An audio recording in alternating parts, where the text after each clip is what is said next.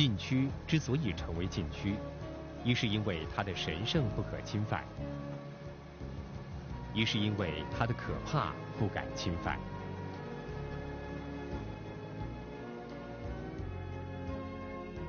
在优美的乌克兰境内，就有一个属于后者的禁区，一块乌克兰政府不愿意面对、乌克兰人民不敢踏足的国土。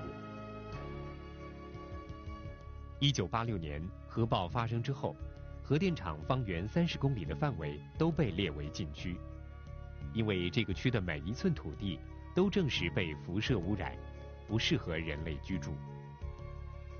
因此，连带区内所有城市和村落的居民都要被撤离，所以这个地区又叫做死亡区。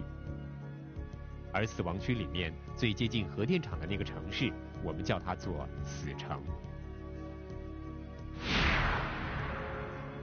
从基辅到死亡区大约需要三个小时的行车时间，而在进入死亡区后，大约半个小时的车程，我们就会到达死城。由于这次我们要拜访的是一个辐射高危险区，所以除了事前要进行一系列批文申请之外，我们在正式进入死亡区之前，还要经过重重的关卡。每辆从死亡区离开的车辆都要仔细的用仪器探测，看看潜藏的辐射指数有否超过安全的标准。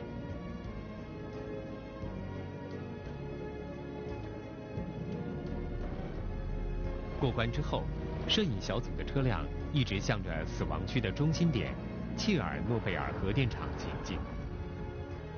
沿途所见人烟稀少，但是河水淙淙，野生的林木花草也见茂盛。不过，同行的研究人员一再叮嘱我们，尽量避免触摸到死亡区内的任何生物，因为它们吸收了无数的辐射物质。一时间，紧张气氛笼罩全车。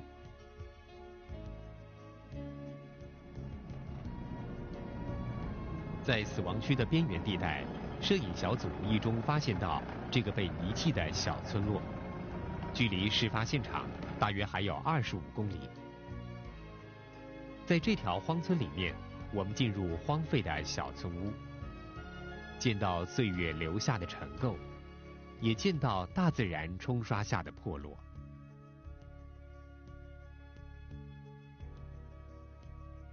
但是我们同时见到的是乌克兰最传统的储物地窖和主食土炉。当年匆忙间收拾细软，这些是乌克兰人带不走的生活形式，也是岁月和大自然都不能够冲走的生活点滴。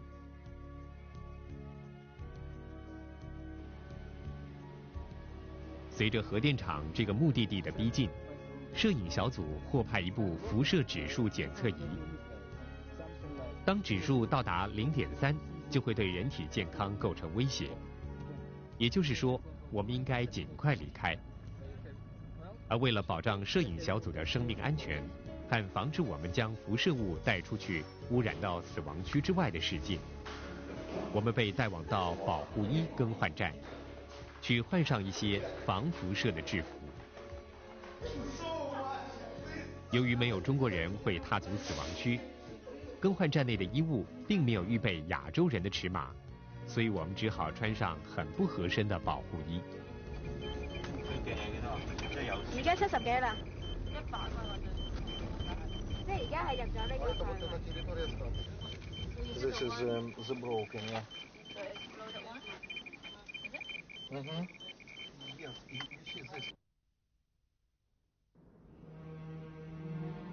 在我们眼前的就是一九八六年四月二十六日一点二十三分发生爆炸的四号反应堆。截至今天，这个反应堆已经停工十四年，而核电厂的四周也有重重的铁丝网包围着，严禁进入。虽然一切的不幸。都是由核电厂引起，但是要真正感受死亡的启示，就必须要踏入死城。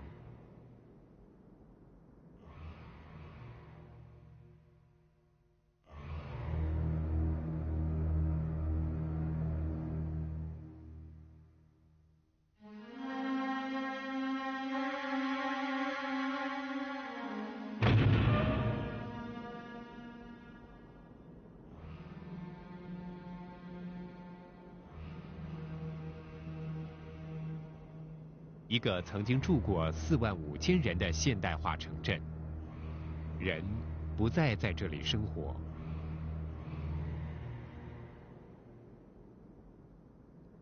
鸟也不再在这里飞过，这里再也留不住一丝的生命，留得住的只有生活过的痕迹。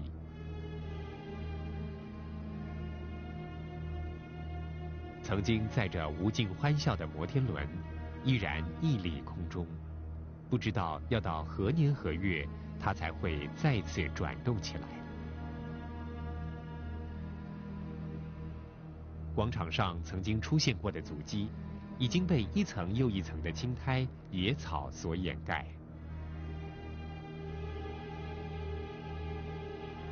不会再有巴士停站的巴士站。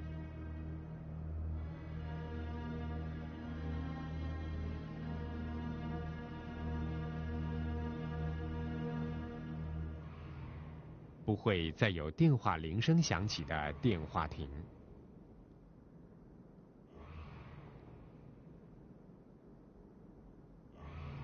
街上见不到有被丢弃的垃圾，只见到生锈的物品。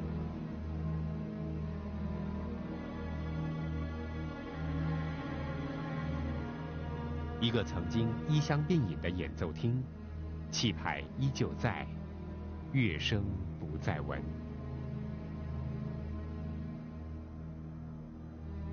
歌声没有，乐声没有，大自然的虫声、鸟声同样没有。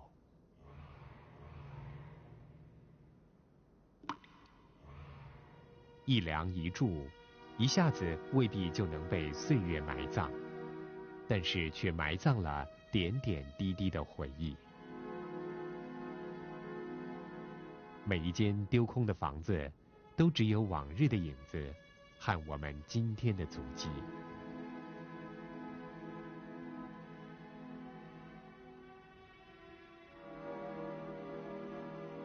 这家人匆匆撤走之前，可能正准备煮一顿丰盛的晚饭。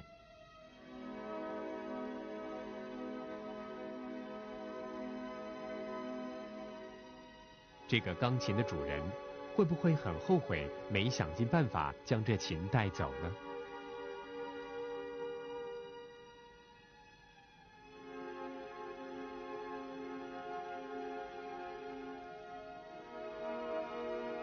一间学校大门口放满匆匆留下的防毒面罩。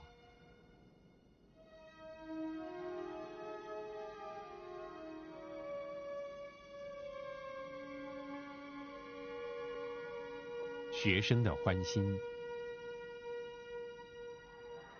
还有学习的气氛，并不会就此烟消云散。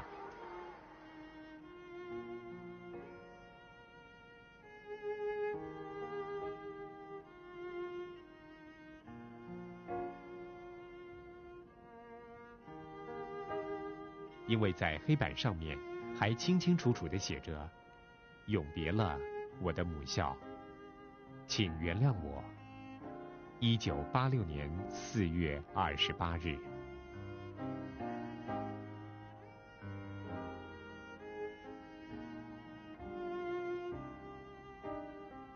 我们在这里逗留了三个小时，但是感觉上似乎一秒钟都没流逝过。我们不其然想象到，这十四年时间在这里是同样的过，在将来。不知多少个十四年都会同样这么过，这么完全停顿的过。切尔诺贝尔核电厂爆炸当天，Pripyat 市全市市民一夜撤走。政府为了补偿和安置，就在一年之后，在临近的地方新建了一个全新的城镇 s a v a t i c h 我们见到的这个新城。整个城市规模保留着 Pripyat 式的原貌，一座座四四方方的住宅大厦，住了大大小小的家庭。纵横交错的马路，将这个城镇连接到外面的世界。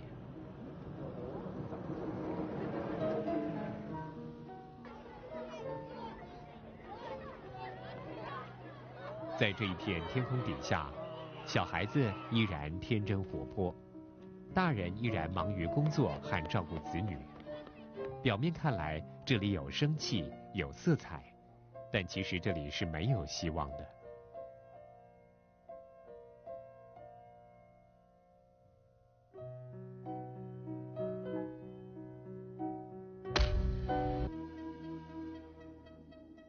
今天我们重提1986年的切尔诺贝尔核爆事件，很多人都会以为这只是一段历史，但是对当地人来说，他们有很多人都明白到，切尔诺贝尔核爆所带来的辐射物质，几百年之内都会与乌克兰并存，成为乌克兰生活的一部分。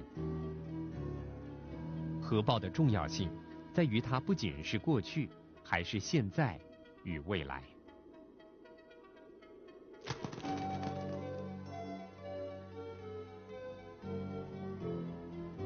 乌克兰人这个不幸的民族，曾经用尽所有的方法将死神拒诸门外，但是从来没有想过离开自己的国家，放眼新的天空。这是因为乌克兰人热爱祖国，还是他们欠缺我们中国人的那一份求生的冒险精神呢？当一个积极进取的中国年轻人遇上这个安于现状的乌克兰民族。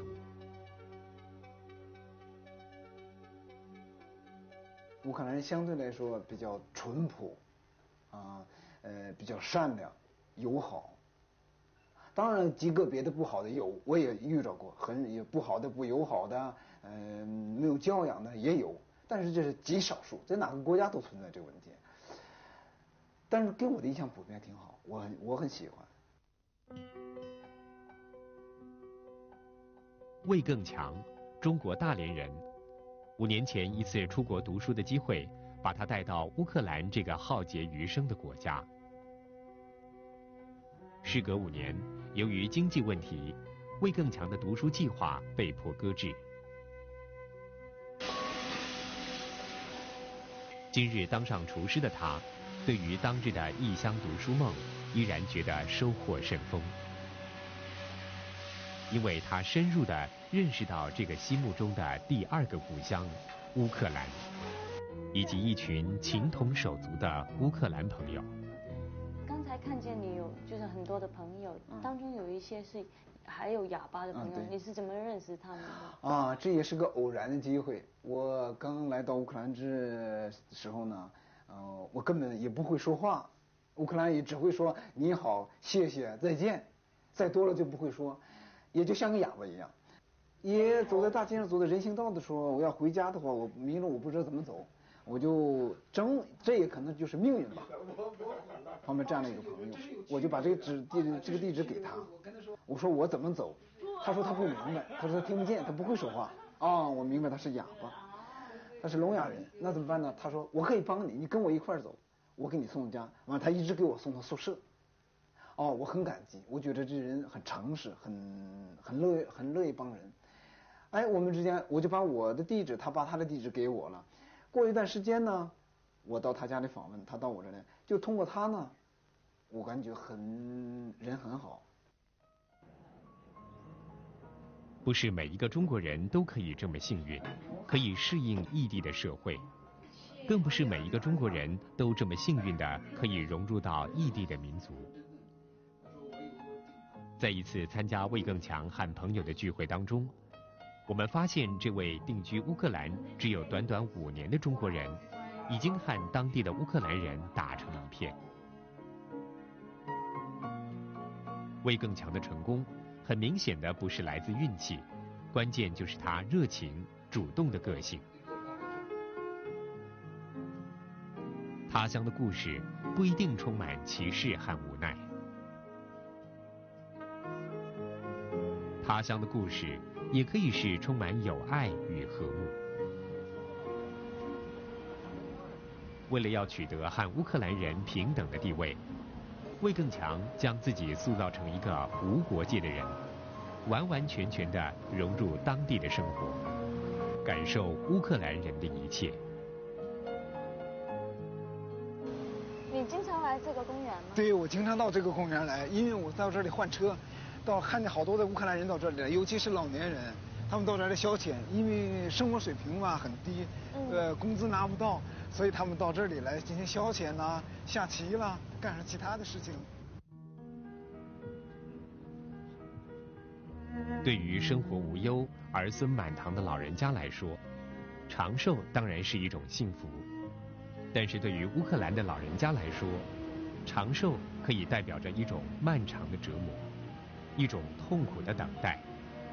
现实在乌克兰，平均每一天都会有一个老人家厌世自杀。这些走上绝路的老人家，大部分都是今天经济倒退的牺牲者。因为每个月二十五美元的养老金，实在不能够支付一百美元在乌克兰的基本生活费。当安享晚年已经成为遥不可及的梦想，他们最后只有将希望寄托在来生。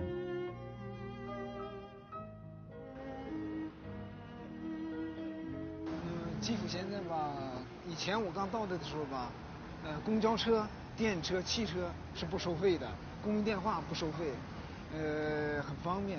现在从九六年开始，九年，呃，九六年开始开始收费了。呃，电话公用电话收费，汽车收费，呃，电车收费，因为国家对现在实行私有化，私有化就必须要需要这个钱来维修，那就现在就现在就是逐渐逐渐的在往上涨。今天的乌克兰换汤不换药，表面上新制度反映着新思想的实践，其实有很多人依然不能适应新社会的步伐。只有终日活在等待之中。这是乌克兰银行，我乌克兰银行没有很多的人到这里存钱，现在生活很不景气，呃，没有人到这里存钱。作为我自己吧，不到这里存钱，因为我是外国人，呃，我的钱呢一般都寄到家里去了，所以现在呃很少有人到这存钱，因为每个人的工资工资不都很低。呃，自己生活水平都不够，所以不到这里来存钱。勤劳和节俭是中国人的优点，而这种优点在今天的乌克兰就更加值得被提倡。在这个希望渺茫的国家里面，我们见到无数的乞丐，情愿将希望寄托在运气，也不愿意将希望寄托在他们健硕的四肢。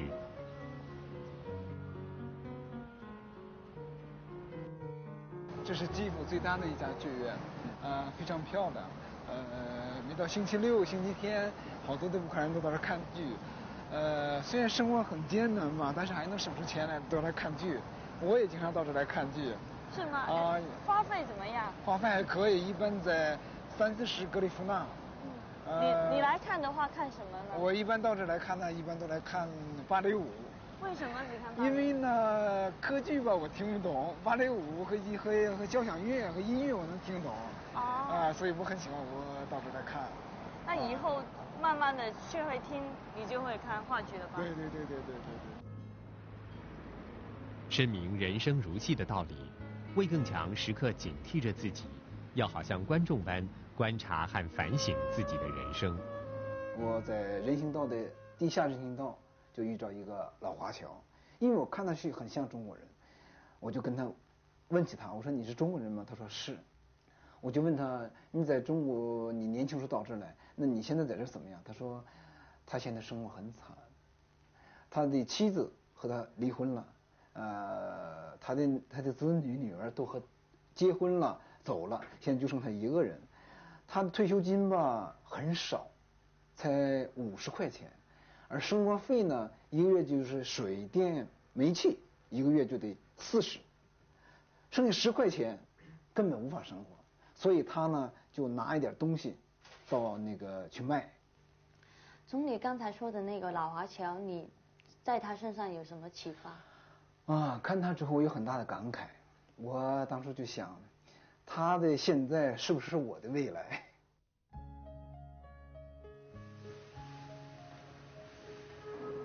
前人的经验是魏更强免费的金石良言。作为一个厨师，他煮得出美味的中国菜，同时也有信心可以烹调出美味的人生。乌克兰境内一个不起眼的中国人，每天从事的却是了不起的文化融合。我们都期待他的他乡故事会有美满的未来。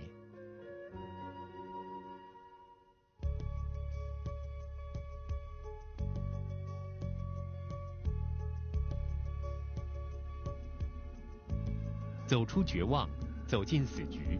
如果说乌克兰有的只是绝望，那么邻近的白俄罗斯，有的就只是哭泣的死局。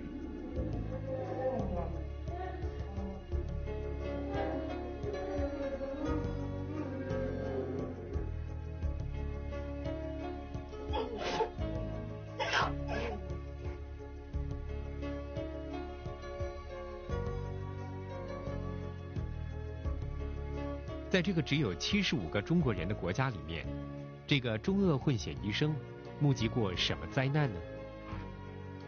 这个中国生意人怎么样靠辐射赚大钱呢？